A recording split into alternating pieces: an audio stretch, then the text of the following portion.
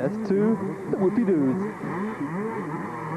A series of elimination rounds until just the winner is left. These concrete bumps are more strenuous than they look. Those who hope to make it to the finale here have to have good technique and also to be in good shape. Everyone here fits the bill.